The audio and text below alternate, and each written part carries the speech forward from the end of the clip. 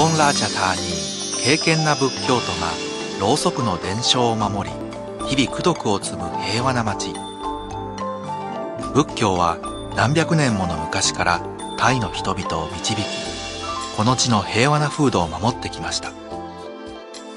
タイの文化や生活はあらゆる面で仏教と深く結びついています。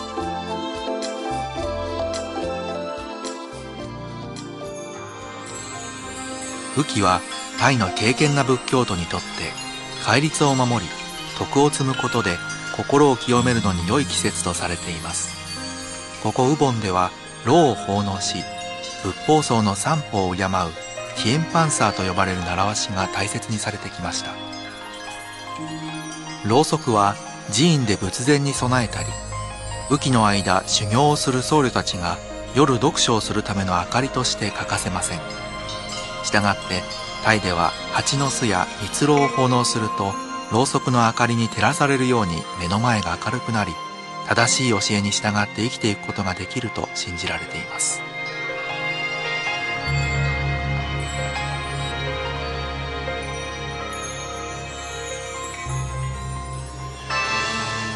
ティエンパンサーの伝統。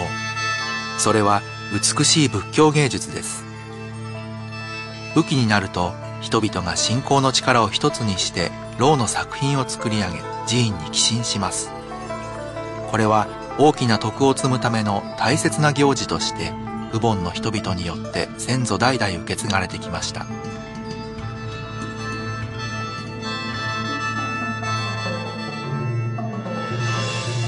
古くからの伝統を今に伝えるウボンのろうそく祭りはタイでも最も盛大なお祭りの一つです。薄いろを貼り付けていく技法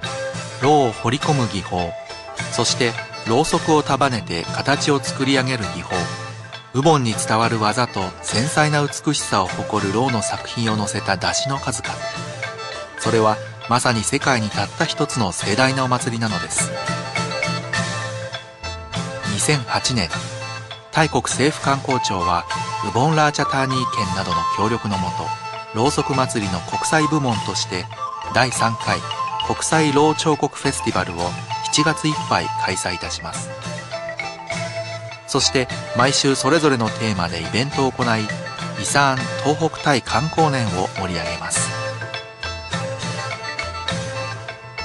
第1週ウボンに伝わる芸術。第2週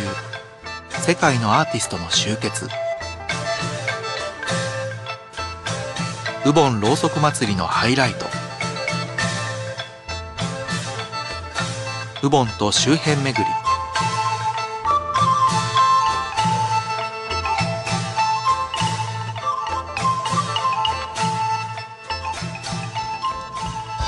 国際ろう彫刻フェスティバルは世界中から選び抜かれたアーティストたちの作品を通じて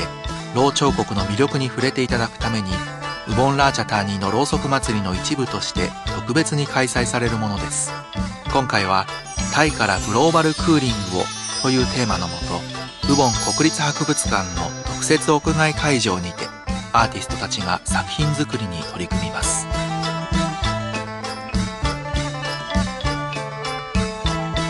ウボンのろうそく祭りには世界中の多くのアーティストから参加の希望が殺到します。その中で今回はイタリアインドウクライナ中国ドイツトルコ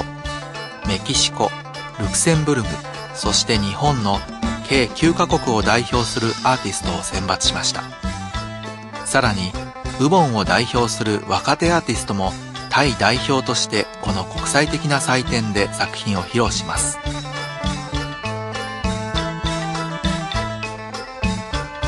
この国際老彫刻フェスティバルでは7月を通して世界を代表するアーティストが作品を制作します。ぜひ会場を訪れアーティストたちの素晴らしい技を肌で感じてください。トゥン・シームアン公園の出汁伝統の技で飾り上げた美しいろうの出汁の数々。とあなたもその迫力に圧倒されることでしょう。ウボンの寺院での伝統儀式。イリアンゴの前夜にはろうそくの明かりを手にお堂の周りを参集し仏法僧への敬意を表す習わしがあります。ウボンの寺院にてこの儀式に参加しませんか？盛大なウボンのろうそく行列。世界唯一のろう作品の出しによるパレードは見る者を感動させてやみません。9つの寺院と芸術の村巡り。寺院を取り囲む芸術の村の数々を訪れこの地方に伝わる生活文化に触れましょう。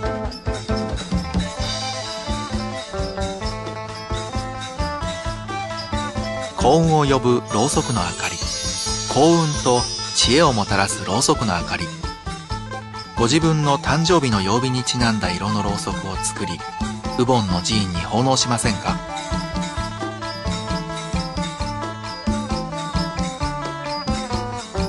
バーンカムプーン村訪問。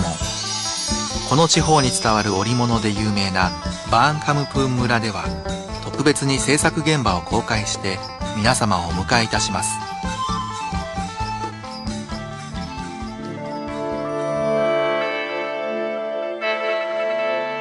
ろうそく祭り。それはウボンの人々の仏教とろうの芸術を次世代へ伝えようという熱意の結晶です。この雨季にぜひウボンを訪れ、文化の香りを楽しみましょう。皆様のお越しをお待ちしております。